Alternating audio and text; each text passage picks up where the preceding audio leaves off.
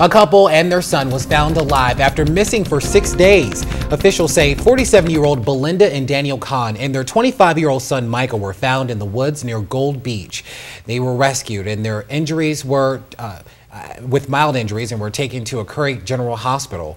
The family went missing after they disappeared from their campsite to go mushroom picking. Dad, mom, and son are expected to be okay.